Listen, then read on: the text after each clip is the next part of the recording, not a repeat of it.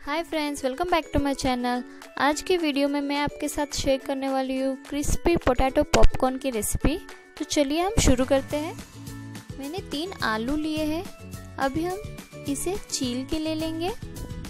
इस तरह से। अभी हम इसे कट करेंगे।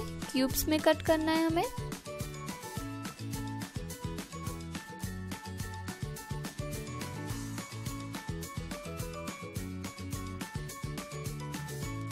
तो तीनों आलू को मैंने कट करके ले लिया है। इसे मैंने दो से तीन बार फ्रेश वाटर में धो लिया है। एक बर्तन में मैंने पानी गरम करने रखा था। अभी हम आलू को गरम पानी में डालेंगे और इसमें हम नमक डालेंगे। आलू को हम पाँच मिनट तक बॉईल करेंगे। आलू बॉईल होने के बाद में हम इसे निकाल लेंगे। आलू को हमें ठंडा करना है अभी। आलू ठंडा होने के बाद में इसके ऊपर एक्स्ट्रा पानी है तो वो भी हम निकाल देंगे।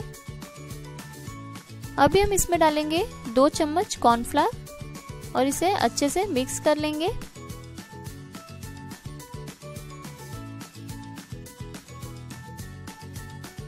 तो सारे आलू अच्छे से कोट हो चुके हैं। एक पैन में मैंने तेल को गरम करने रखा था। अभी हम ये आलू को गरम तेल में डालेंगे। आलू क्रिस्पी और गोल्डन ब्राउन होने तक हम इसे फ्राई करेंगे। तो आलू अच्छे से फ्राई हो गए तो अभी हम इसे निकाल लेंगे।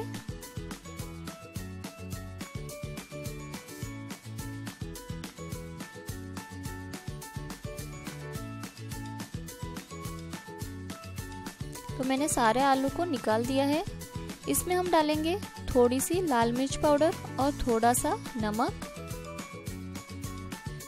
आप इसमें ब्लैक पेपर पाउडर और चाट मसाला भी डाल सकते हैं।